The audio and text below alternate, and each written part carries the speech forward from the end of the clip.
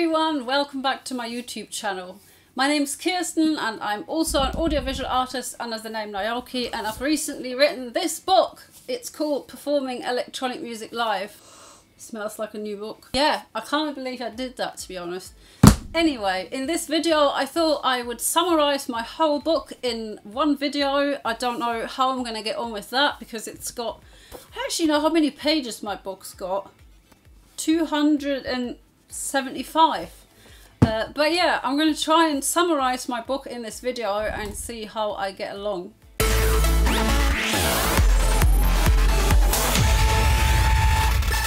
Uh, so first of all, what the hell is my book about? I mean, the title kind of says it all. It's about how you can perform electronic music live. Uh, and basically, if you're a producer like me and you love to produce music uh, in the box kind of thing, you know, in a DAW, you might have come across the difficulty of not quite knowing how you can perform this live. Uh, so of course electronic music is great, um, obviously it sounds great, but it's also great in the sense that you can play loads and loads of instruments all at the same time. You basically can create a whole arrangement just by yourself, which is uh, one of the reasons why I love it so much. Uh, but obviously you can't really do that live and on the fly, so uh, that's where things get a little bit tricky uh, and so I thought I'd break down a lot of different setups in my book about how you can perform electronic music live. So obviously one thing that you could do is you could just produce your song and then export it as a backing track and then play it out loud and sit on a chair and listen to it play but it wouldn't be the most engaging performance. Similarly, you can sing to a backing track, which can be cool, but normally it's even cooler if there's some other kind of interesting stuff going on on stage. So basically, that's what I was trying to do in this book. I actually broke down 12 different performance setups that are all completely different and I made this great big tutorial series here on YouTube and uh, I'll link it down below so you can check it out. I will also obviously link the book down below as well uh, if you want to read it, you know, it would be great. So in this video, I'm going to try and give you an overview over all the different setups and just kind of talk about, I guess, the anatomy of a electronic music performance setup. So needless to say, performance styles in electronic music are super diverse. There's lots of different things you can do. Uh, some people DJ, some people work with DAWs and controllers, some people incorporate acoustic instruments and so on. Uh, so there's a lot of different things that you can do. And I think it's important to bear in mind that what works for you might not work for the next person. So what works in a live show really depends on your music genre, your skills, your talents, what you actually find fun. Also, who actually is in your audience, because if you're fiddling with all these exciting and interesting buttons and you set yourself a huge challenge, but nobody in your audience actually understands what you're doing, maybe it's not worth it. So I think that's the first point to start is what is it that you want to say with your show? What kind of do you want to communicate? Who's in your audience? And so on. And that's kind of like the basis from which you can build your setup.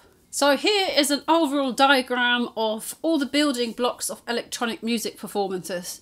It looks really complicated, but it's not. So you can see here, obviously you need some kind of sound source because if you haven't got a sound source, then you haven't got sound. So sound sources can be lots of different things in electronic music. Often you've got synthesizers, of course, and samplers, but also vocals or instruments or things like DJ decks or you know things that play back pre-recorded audio just anything that kind of like makes a sound. And that then can go into your mixer and can go into your playback system.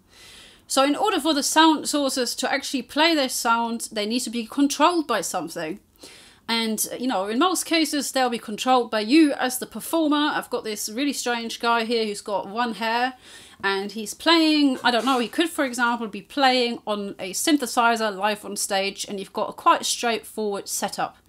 But what if he wants to play on five different synths, then things get a little bit more complicated, and that's when things like sequencers come in, or MIDI controllers. Because what they allow you to do is to control several different things at once. When you have really complex setups, sometimes you need some kind of clock signal to keep everything in time, and you might start to need control signal routing tools, so different things that route different signals around your system. Uh, lastly, what could happen is that you put some effects on your sound. Uh, so you might have EQ or reverb or compression or anything else like that. And you might apply it to some of your sound sources or all of them. It's completely up to you. Um, so that's all of your sound done. And then in addition, you kind of want to think about what your show looks like.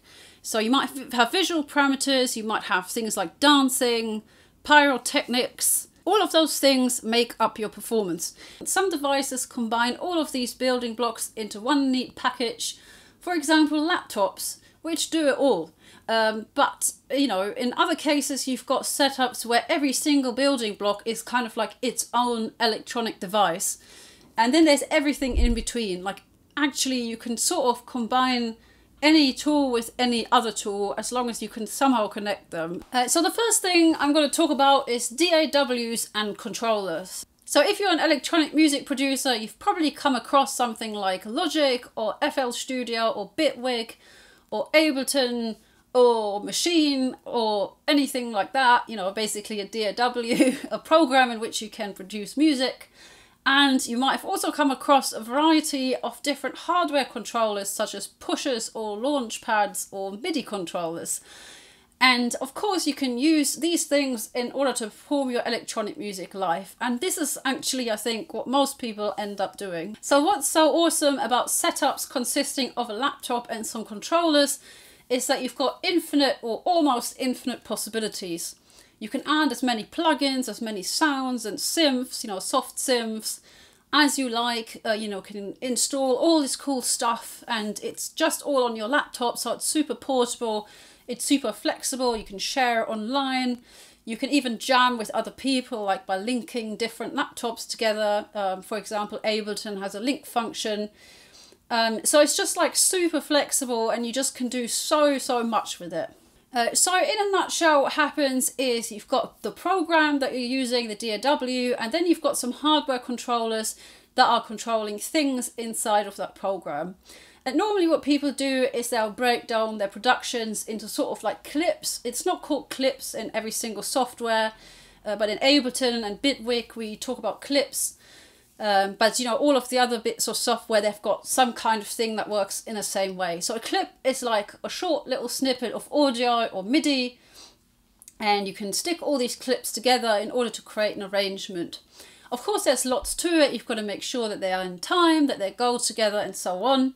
Uh, but in a nutshell, you have some kind of MIDI controller with buttons, and you push the buttons, and it plays back the clips, and you've got your live arrangement. Then you can also assign effects to MIDI controllers. So you can, for example, say, I want to put a high pass filter on this section. I want some reverb. I want some distortion.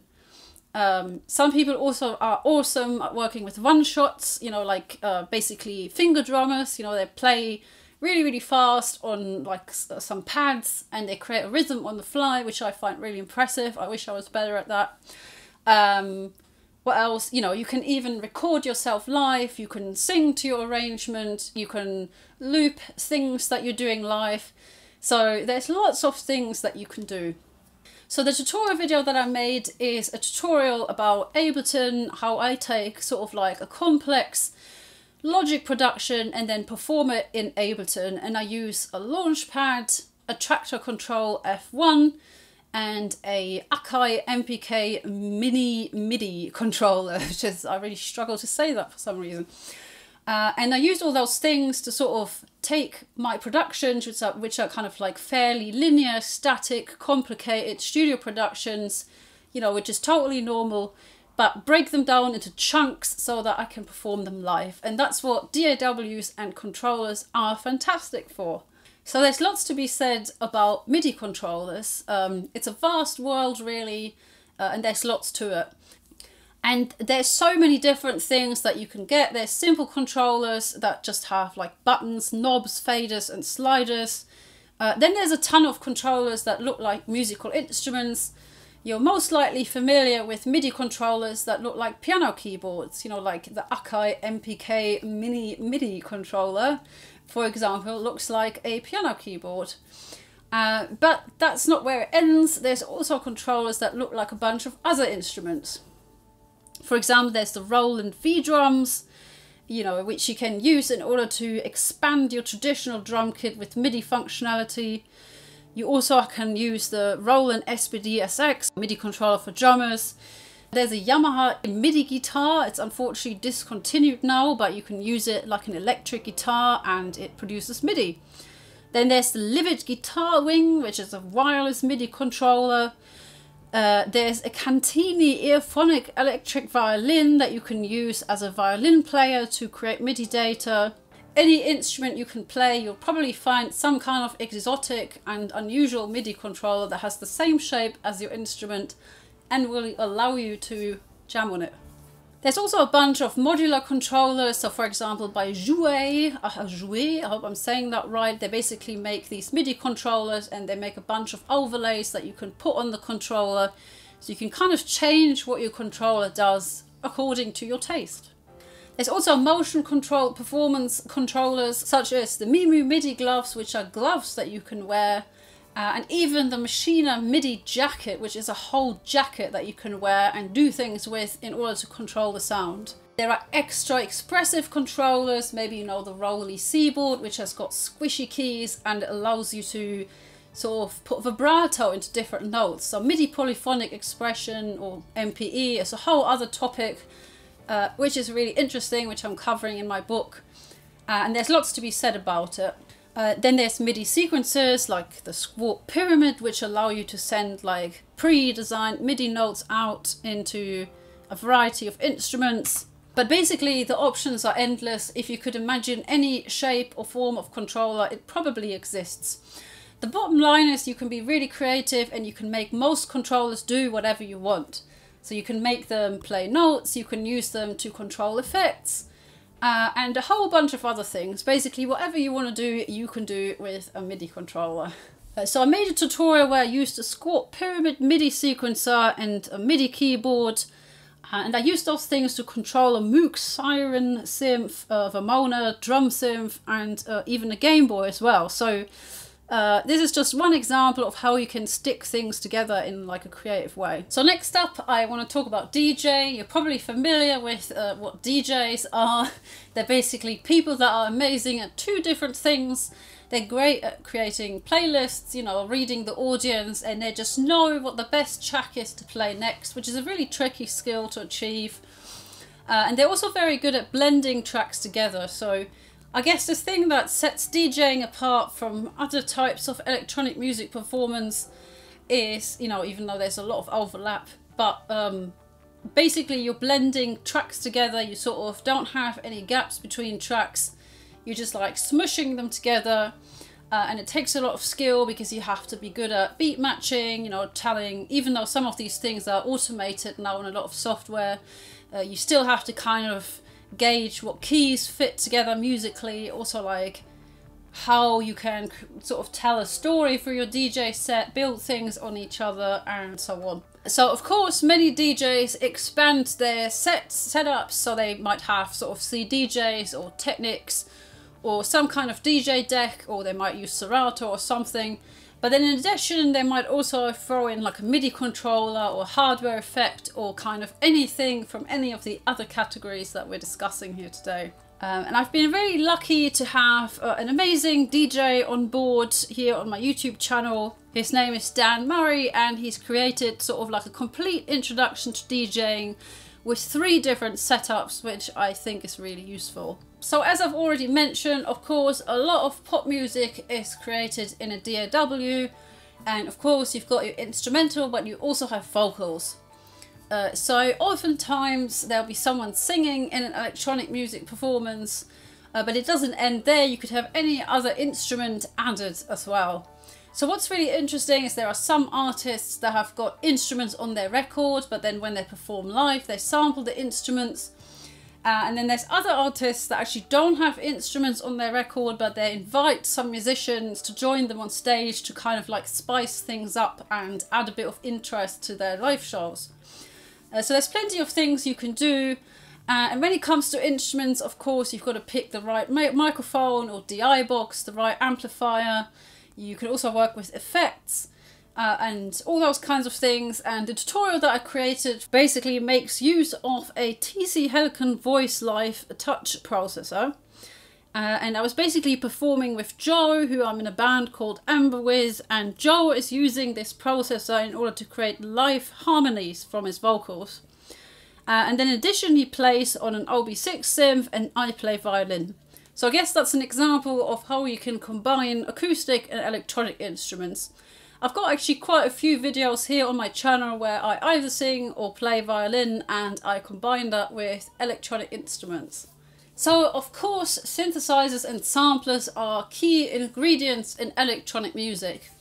You know, whether it's a soft synth or a hardware synth, uh, you name it, you know, that's what kind of makes electronic music electronic music, right? The whole history of hip hop is really heavily based on samplers uh, and, you know, sampling records and putting them into new records and so on. So it's really an area that you can't ignore if you look at electronic music performance. So of course you can also take synths and samplers with you on stage and they look and sound great and obviously if you're a brilliant keys player or you're great at finger drumming uh, you can do some really impressive stuff. And you can obviously combine these synths and samplers with all of the other things that we discussed in this video. So for example, you might have a DAW and some MIDI controllers, but you might then also have a synth as well that you're controlling live. So in my book, I'm sort of covering all of the synthesis techniques like additive, subtractive, FM synthesis, and so on. And I go through like oscillators and amplifiers, la di da, you know, all of the different controls that you find on the synth. Don't really have time to go through all of that in this video. But I do recommend that you familiarize yourself with sound design and maybe learn a little bit about how synths work and how you can make your own sounds. So what's really awesome is even if you're not a great keys player or you don't really know how to perform live on a keyboard, you can route MIDI into a synth and you can sort of like just perform live with sound design parameters and you can create some really interesting soundscapes and play with timbre basically. So I made a tutorial on my YouTube channel which uses software and hardware synths uh, and in my case, I'm controlling a Roli Equator 2 soft synth with a Roli Seaboard. And I'm also feeding some MIDI from Logic into an OB6 synth. One thing that we've not talked about is can you actually perform electronic music with lots of parts and lots of components without a laptop? And the answer is yes, you can. So I remember the diagram I showed you at the beginning? Uh, you can actually buy a separate hardware device for each of those things. So instead of using a laptop, each part of the setup can be its own hardware device, uh, you know, the control signal generator, so you could have uh, some kind of hardware sequencer, you could have, um, you know, some synths, little synths on stage, you could have some effects as hardware effects, for example, I've got a Strymon Big Sky Reverb hardware effect that I use a lot, and each of those things can be a separate building block and you kind of got to plug them all into one another in order to uh, create your music. There's also a couple of all-in-one tools available like the Octatrack or you know the Teenage Engineering OP1, OPZ uh, things, you know those kinds of things are great for like working with hardware but not having lots and lots and lots of separate devices. If you love having lots of separate devices, you can dabble with modular synthesis, which is really fun and also a very steep learning curve. I've got an excellent tutorial by Matt Goodison in said playlist where he breaks down his very own cable spaghetti modular setup, which I find really impressive. So really you can combine loads of things with loads of other things and it allows you to create your own deeply personal performance instrument and I don't want to say it's more personal than when you use DAWs, but I guess because it's forcing you to really think about what you want to use in your performance and what functionality you need, you kind of end up with something really custom, which a lot of people find really exciting. Next up, we're going to enter even more experimental territory, and it's basically the world of programming your own performance tools. Uh, and I completely understand that most people will be like, nah, no, I'm not going down that rabbit hole because programming is obviously not easy and, you know, we're musicians, we're not necessarily computer scientists. But still, there are artists that create their very own performance tools from scratch. Some artists have also worked with software companies. For example, you've got BT, who's made you know the stutter edit with um, together with iZotope. Uh, there's many, many, many examples of this. Uh, so of course it's possible to create a completely new plugin or completely new bit of software from scratch. And there's also a bunch of programming languages specifically for music. Uh, you might have heard of Max/MSP, which is a node-based programming environment, uh, similarly to Pure Data. And uh, my colleague Francesc Moya has made a tutorial video in the same playlist which is about how you can create randomly generated electronic music that still sounds in key and sort of use Max/MSP to set that up. Another really unique practice that I'm personally super fascinated by is live coding. So essentially you have, it's like the complete antithesis to like physical musicianship. Uh, so you're no longer on the stage jamming, but instead the performer is on the stage typing computer code and it's like so unusual and so crazy and yeah. Uh, and if you want to learn more about that i really recommend eli Field fieldsteel. He's also made a tutorial video for my channel. Thanks so much eli. And uh, he basically shows you how you can use SuperCollider which is a live coding platform uh, to create electronic music from scratch. It's really impressive because you start from a complete blank screen there's nothing to begin with. You have to create all your synths and all your sound sources from scratch through code. Uh, and yes, it is, uh, if it sounds complicated, that's because it is complicated. But I think it just forces you again to think really critically about what you want to actually do as a musician. And it removes any existing structures and really throws you in the deep end. Uh, so if you're a beginner, you know, performer, maybe that's not the way you want to go, but it's definitely an option if you want to explore it. So we've talked about people that code their own performance tools.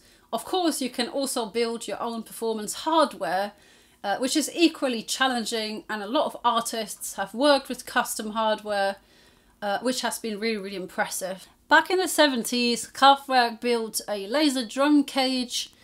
Um, you probably know Björk and her many uh, weird and wonderful instruments the most impressive one, in my opinion, is the Tesla coil lightning machine. And uh, Matt Robertson, who I was lucky enough to interview for my book, he basically controls this uh, Tesla coil through Ableton, which is really wacky and cool. And um, it makes a viciously loud sound, like it's so loud, like it needs no amplification and it looks really cool as well. So you basically have lightning on the stage, you've got a really loud sound, and it's just such a unique thing to do. Some people use EMG, you know, electrical activity in the brain, EEG, eye motion, heart rate, and you know, sort of bodily responses and translate them into musical data through custom devices. That's a really interesting territory as well. Uh, some people use traditional musical instruments but build robots in order to perform on them, like Pat Metheny in his Orchestrion album. Some people repurpose, you know, um, existing toys and household items. I don't know if you've heard of um, Look Mum No Computer. It's a really funny channel on YouTube called Look Mum No Computer by uh, a guy called Sam Battle. And for example, he's like taken, he's built like this Furby organ where he's used loads and loads of Furbies and he's performing on the Furbies through like a keyboard controller, which is so cool.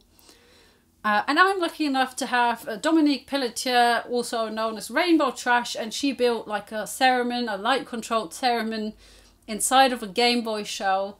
And she broke that down in a tutorial in my channel as well.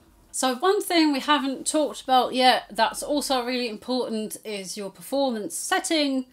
Are you performing at a festival or in a small bar or in a theatre? You know, depending on where you're performing, some things work really well and others not so much. So for example, if you're on a huge festival stage and you're working with a tiny MIDI controller, it might get a little bit lost. Uh, so it really makes sense to think about where is it that you're going to perform and what's going to work in that setting and what does your audience actually understand. So another awesome tutorial which was uh, made by Stephen Massey who's a live sound engineer and a producer Uh, he's basically breaking down common live sound technology in the tutorial, looking at PA systems, monitoring, mixing desks, uh, and so on, uh, breaking down basically a typical large venue playback rig. Of course, you can also do a lot with visual parameters. I've already kind of touched on that. So, you know, you can dance or work with visuals or have like fireworks or any kind of visually cool stuff happening on stage.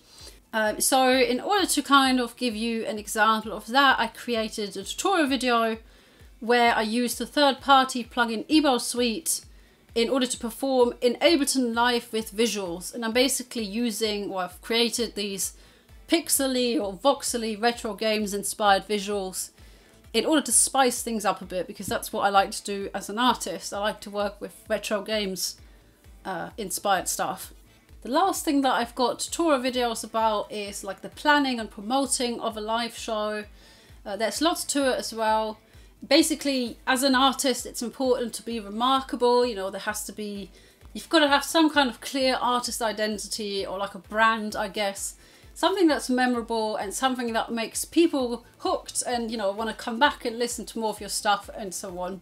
And I think that's the most important thing and then you've got to find your scene, you know, like other people that are into similar things, identify your target audience, and so on. So Woody van Eyden, who's an absolute legend, has made me a five-part tutorial series about, you know, the do's and don'ts for artists that want to succeed in the music industry. And he's a really great guy. He's an internationally acclaimed, award-winning music manager, DJ, trance producer, performer, label owner, and he's worked with uh, ATB and Alex Morph. Um, you know, it's actually Alex Morph's manager, and he's really great. So that's definitely worth a watch as well. So I feel like I've probably completely blown up everyone's brains. I'm really sorry, but uh, I've tried to summarize my book in a video, which is of course really, really difficult if there's so much to it. Um, but I guess that's the takeaway point from this video. There's no one fits all approach. There's no like you must perform your music in this way. You know, anyone that tells you that there's a specific way in which you should be performing, you know, don't listen to them because uh, performance is just as creative as production and any other part of the sort of music creation chain. Uh, so basically, some people DJ, some people use MIDI controllers, some people work with visuals, some even create their own tools, software or hardware tools. Some people are on their own, others are in bands, and so on. So there's lots of things that you can do. Uh, and like I said at the beginning, I think it's just thinking about what's your concept, what do you want to communicate to your audience, what's like your message, you know, what what do you want the look and feel of your show to be, and also what do you find fun, you know, what do you want to learn more about, and you can use these things to sort of like construct your own approach. Uh, so I hope that was useful. Um, please do check out the tutorial series if you want to learn more about all the individual setups. And of course there's the book if you want to kind of um, delve a little bit deeper as well. Uh, but for now, please feel free to leave any questions below, any comments, you know, let me know what your setup looks like. You know, if you're stuck and you don't know what to do, I can try and give some advice. Um, but yeah, I hope that was useful. Thank you so much for watching and I will see you in the next video. Bye!